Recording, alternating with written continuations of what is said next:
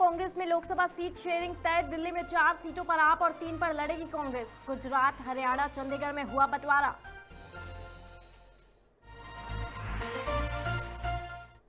कासगंज में बड़ा हादसा, ट्रैक्टर, ट्रॉली, तालाब में पलटी, हादसा में पंद्रह लोगों की मौत, सीएम ने लिया संज्ञान।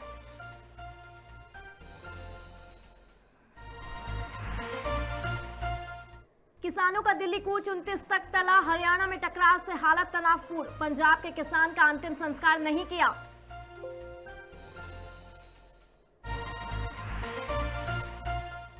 रूस यूक्रेन युद्ध के दो साल पूरे अमेरिका ने मॉस्को पर लगाए 500 से ज़्यादा नए प्रतिबंध। 2022 में दोनों देशों के बीच शुरू हुई थी जंग।